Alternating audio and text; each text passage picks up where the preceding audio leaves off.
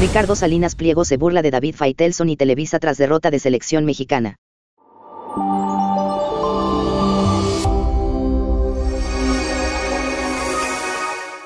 Me complace saludarte a través de Si Te Vende. Somos un medio disruptivo, independiente, alternativo e inclusivo.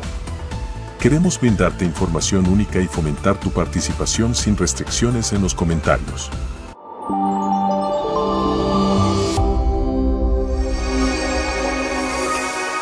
Luego de que la selección mexicana perdió ante Honduras, Ricardo Salinas Pliego se burló de David Faitelson y Televisa al defender su forma de trabajar.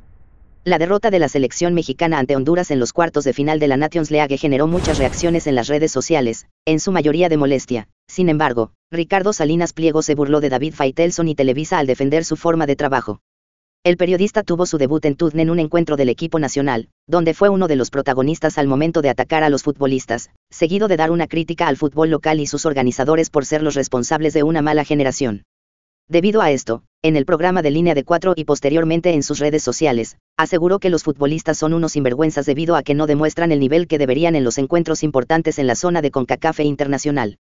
Escucho a los futbolistas mexicanos y entiendo, enseguida, el pobre nivel de nuestro fútbol, muchos de ellos son, con todo respeto y hasta sin él, unos sinvergüenzas, escribió el analista.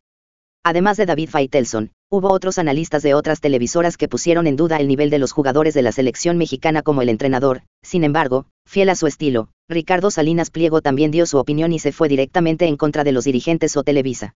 Fue el dueño de TV Azteca quien se burló del comunicador al asegurar que seguramente lo iban a culpar por el tema de la multipropiedad, como se ha hablado en entrevistas anteriores, además de dar una propuesta para que se mejoren las actuaciones.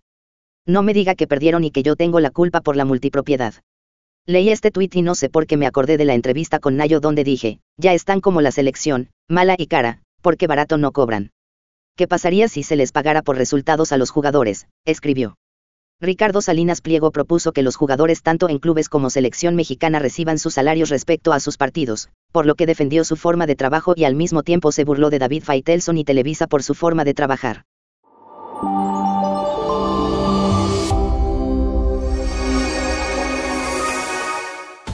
Te animamos a suscribirte, activar notificaciones, dar me gusta y compartir el video con al menos 10 personas para apoyarnos. Expresa tu cariño usando el icono del corazón con signo de pesos. Estamos abiertos a tus sugerencias y deseos para futuros temas. Tu opinión es fundamental. Agradecemos tu continuo apoyo.